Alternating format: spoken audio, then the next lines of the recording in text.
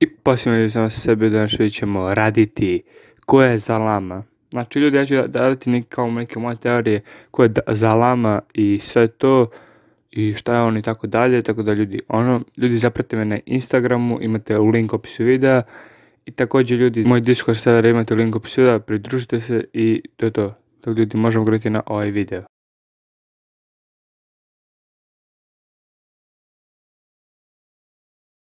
Ga vas nema kad je borba.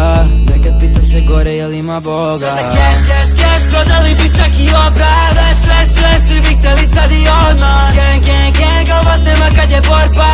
Nekad pitam se gore jel ima Boga. Cash, tu je lom kad je sjep Tu smo all bacim. E, ljudi, znači sad ću ja reći moje mišljenje o Zalami. Znači, Zalami, svi pričaju da je on neki kao neki bog uništenja, e, ne kao nemekijanac, razumete? I sad neki pričaju da je on kao stvorio super zmajeve kugle. Mislim, to je kao svi tu kao tvrde da on izmislio super zmajeve kugle. E, e sad ljudi, e, možda je on bio neki bog uništenja iz e, nekog tamo univerzuma koje je zajedno već obrisao odavno. Možda je bio neki bog uništenja i onda je možda to Zeno obrisao i više ga nije bilo i možda sad Android 17 se vratio te univerzume i sve to, tako ljudi ono.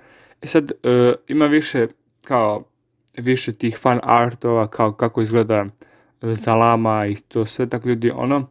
Znači Zalama možda izgleda ovako ili ovako. Meni na ovoj slici je neki bog uništenja, neki bog, nemam pojma ni ja. A na, ovoj, a na ovoj slici imate isto, meni mislim da ovako izgleda najviše Zalama. E sad ljudi, meni Zalama podsjeća, znači, kod je iz neke druge vremenske linije, kod neki drugi timeline Pikola.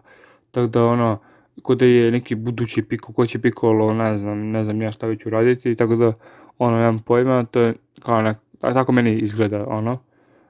Tako da, ja mislim da ovako mislim da, da izgleda Zalama, možda će, možda će se pojaviti u nekom flashback, kao, kako zove, u Dragon Ball Super Sezoni 2, može tako pojaviti, možda neće, možda će da drugačije izgleda, može izgledati isto kao ovako, možda ljudi ne znamo, da ljudi, ono, i da ljudi, uh, pišite komentarima što vi mislite o ovoj temi i do sljedećeg viđenja ljudi, veliki pozdrav!